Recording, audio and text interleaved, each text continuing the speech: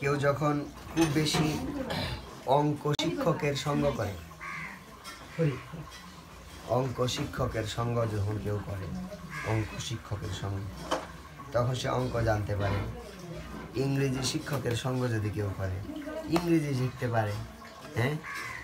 ডাক্তারের সঙ্গ যদি কেউ করে চার বছর বছর ডাক্তার হয়ে যেতে পারে। ঠিক এরকম কৃষ্ণ ভক্তদের সঙ্গ যদি কেউ করে সে কি হয়ে যেতে পারে? ভক্ত হয়ে যেতে পারে সে যেতে পারে। সে কারণে গৃহস্থ যারা তাদেরকে বলা হয় তারা যেন বৈষ্ণব সেবা দেয় এবং এটার সাথে সাথে তারা ভক্ত সঙ্গ হয়। যেমন এরা খুব ব্যস্ত।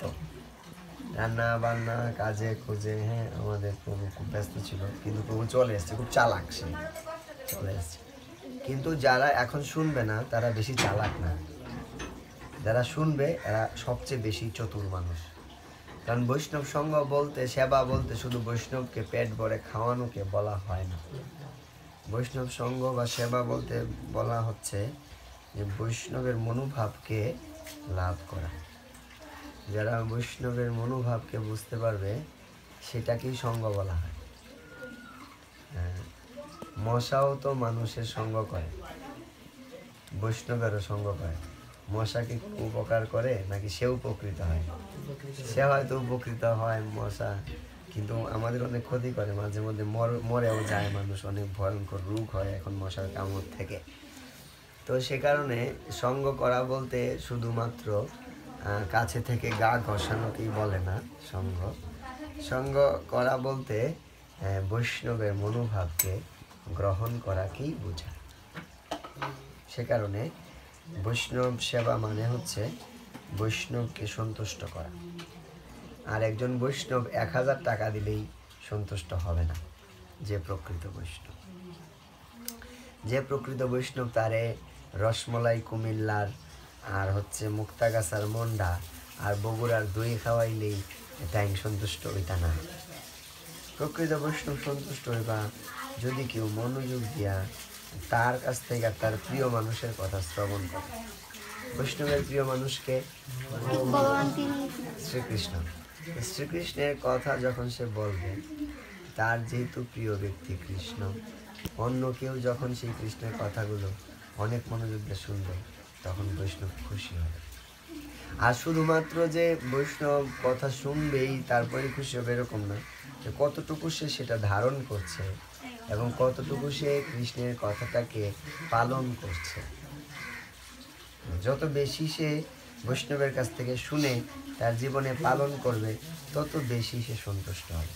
যেমন একজন ইংরেজির শিক্ষক তার স্টুডেন্টকে সঙ্গ দান করেন। এবং সঙ্গ দানের ফলেই যে সেই ইংরেজি শিক্ষক খুশি হন এরকম না। যখন সে পরীক্ষা দিয়া, পরীক্ষার মধ্যে অনেক ভালো একটা রেজাল্ট করে এবং তখন বলে যে, অমুক টিচারের কাছ থেকে আমি ইংরেজি শিখছিলাম, এখন আমি সিলেট বিভাগে ইংরেজিতে ফার্স্ট ক্লাস ফার্স্ট হয়েছি। তখন এই শিক্ষকের মান সম্মান সারা জগতে বেড়ে যায়। তখন শিক্ষক খুশি হন। যদিও শিক্ষক তাকে বিনামূল্যে পড়ান না, তাকে মাসিক পড়াতে গেলে ছয়শো টাকা প্রতি মাসে নেন।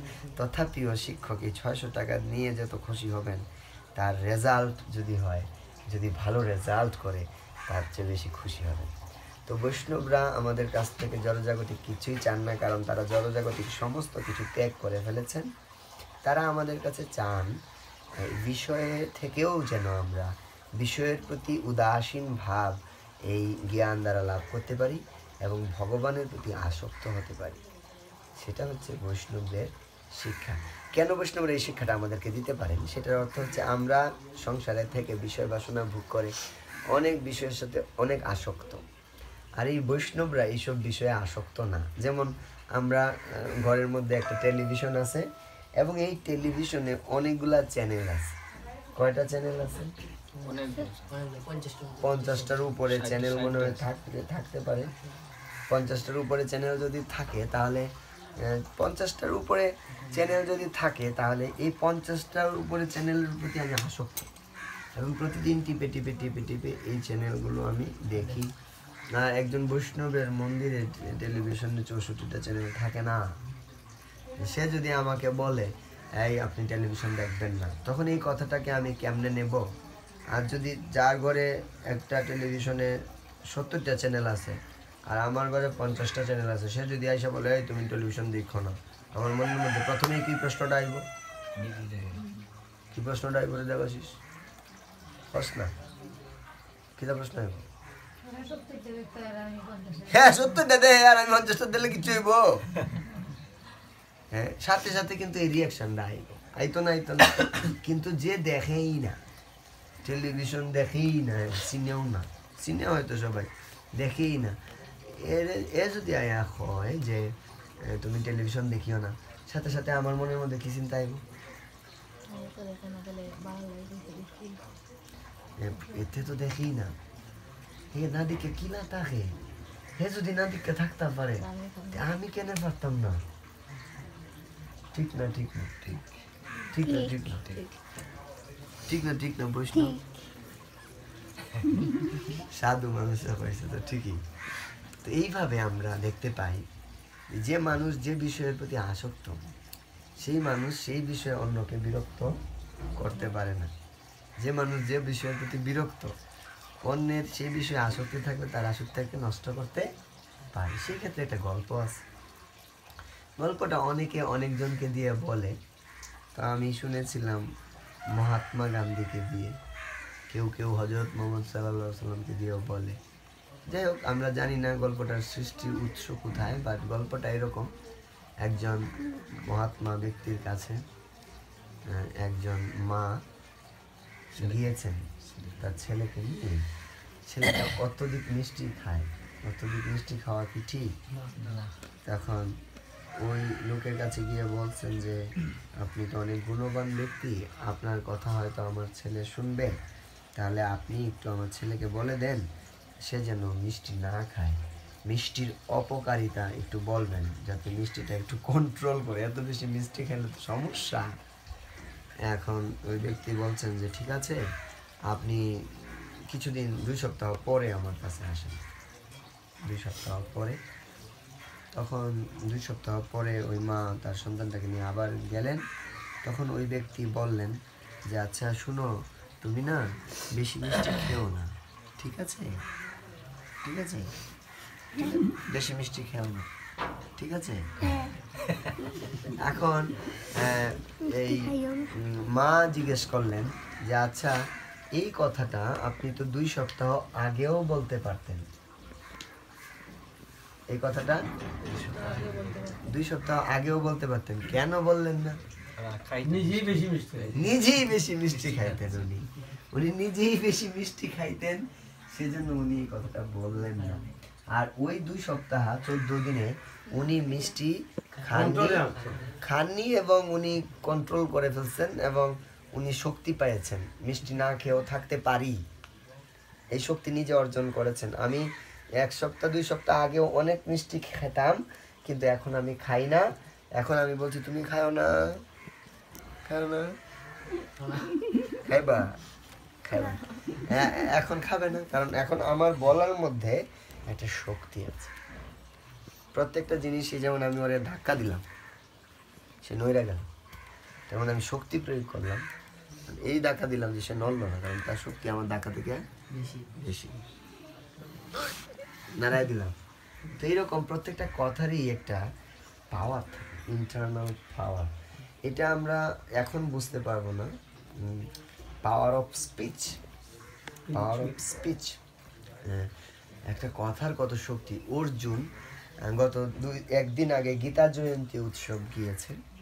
সেখানে অর্জুন খুবই বিমর্ষ হয়ে গেছে। খুবই বিমর্ষ হয়ে গেছে। সে বলছে, আমি যুদ্ধ করব না। আমার এরকম শিক্ষাগুরু এবং পিতামহ ওনাদের বিরুদ্ধে অস্ত্র ধারণ করে ওনাদেরকে নিহত করে ওনাদের রক্ত মাখা রাজ্য ভোগ করা থেকে আমি ভিক্ষা বৃত্তি করে জীবন ধারণ করব। কিন্তু পরমেশ্বর ভগবান শ্রীকৃষ্ণের পাওয়ার অফ স্পিচ হ্যাঁ? ওনার কথার শক্তির দ্বারা সে আবার তার স্বরূপে জাগ্রত হয়ে সে যুদ্ধ করে সে যুবরাজ হয়ে গেছে।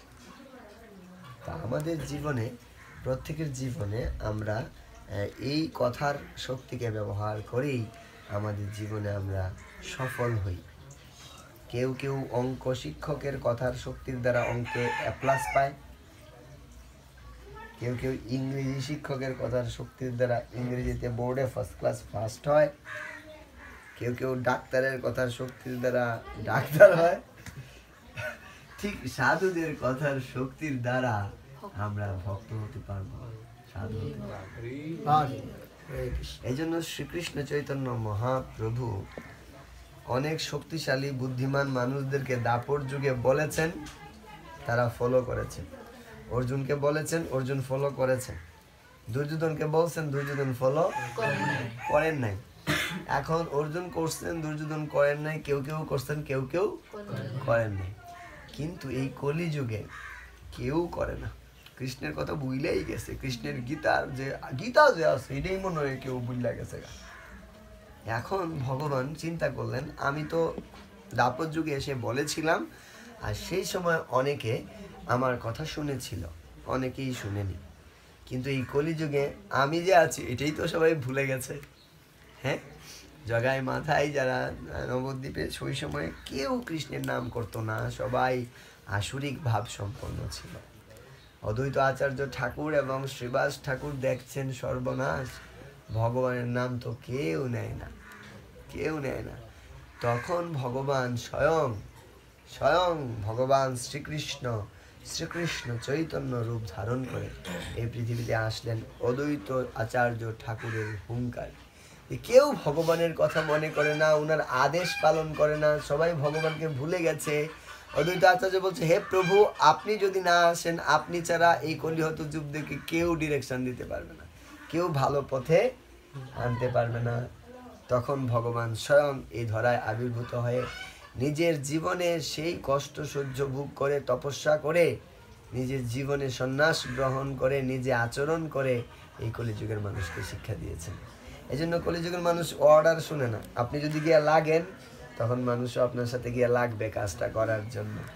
এই জন্য মহাপ্রভু বলছেন আপরি এই জন্য মহাপ্রভুর শিক্ষা হচ্ছে আপনি আচরি গৌরা অপরে শেখায়।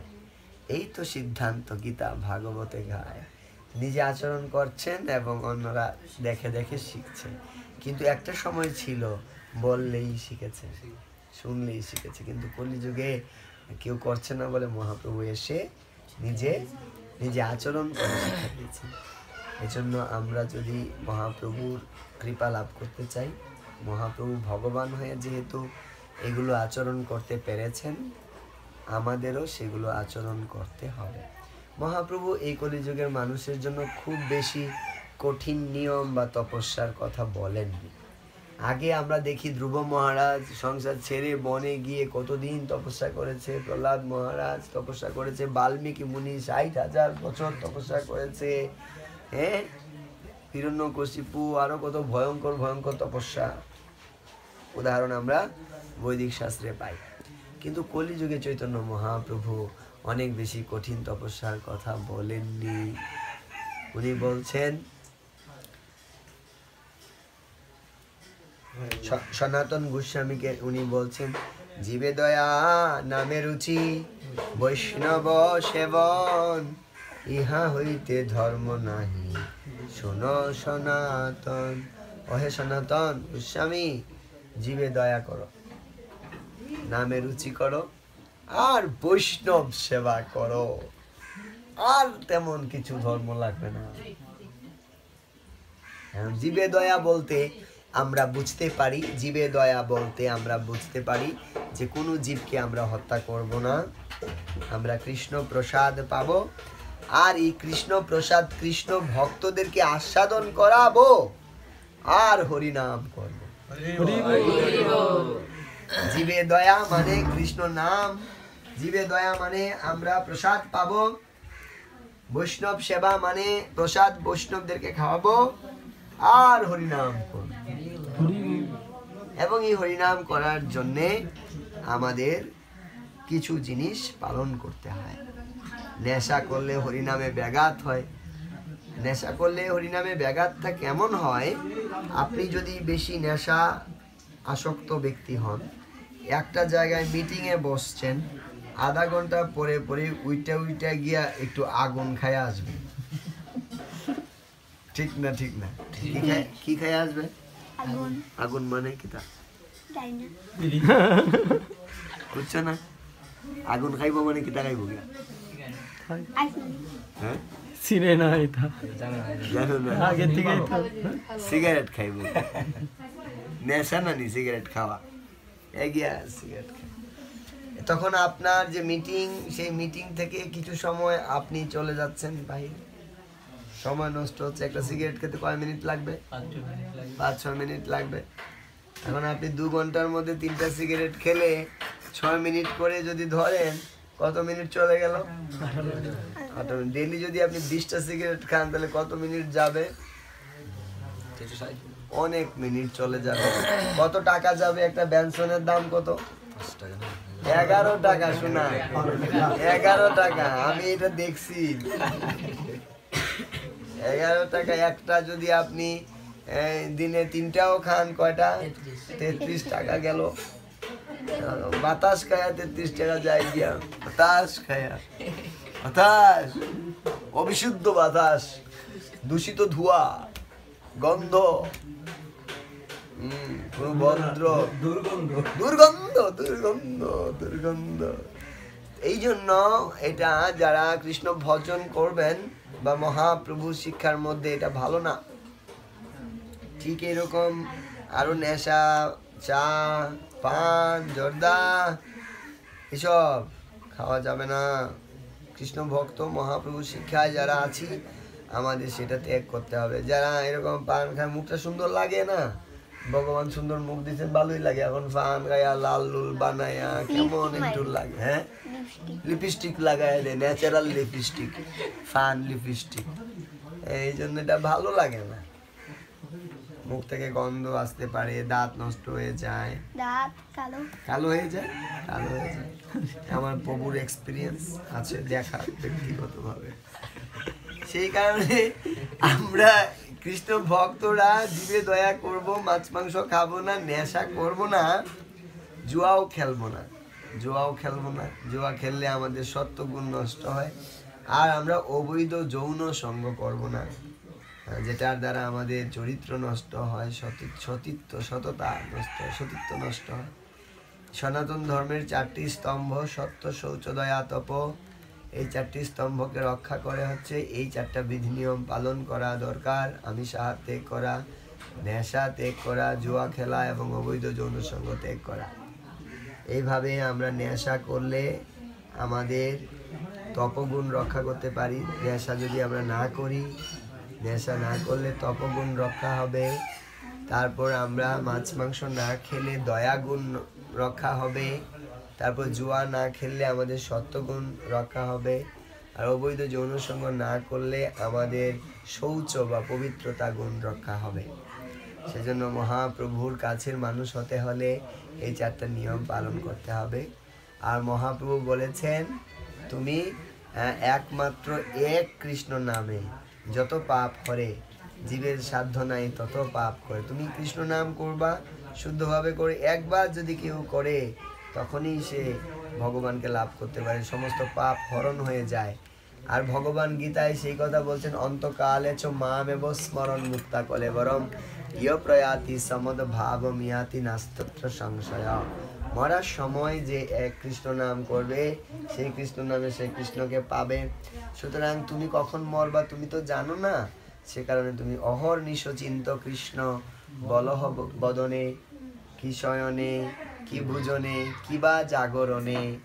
অহর্নিশ চিন্ত কৃষ্ণ বলহ বদনে। যাতে তুমি যখনই মারা যাও তখনই তোমার বদন বা মুখ দিয়ে কি নাম বের হয়? আর যখনই তুমি মরার সময় কৃষ্ণ নাম জপ করবা কৃষ্ণ কি বলেছেন? কাকে লাভ করবা?